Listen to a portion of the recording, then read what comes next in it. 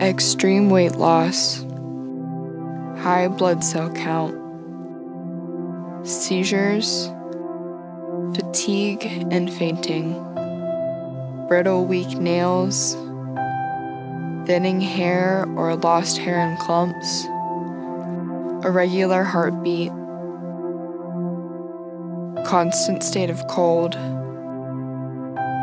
low blood pressure, dehydration, loss of bone calcium, isolation from family and friends, loss of interest in career, brain damage, infertility.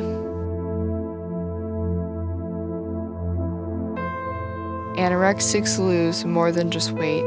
Every 62 minutes, at least one person dies from the effects of an eating disorder.